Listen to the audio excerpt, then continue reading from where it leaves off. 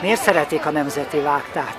Hát nagyon örülök, hogy itt lehetünk, és nagyon, hogy mondjam, nagyon jól érzünk magunkat, nem csak azért, mert nagyon szép a, a rendezvény, hanem azért is, e, ennek a szép rendezvénynek egyik része is lehetünk, azért is nagyon örülök. Köszönjük szépen Mongólia nagykövetén.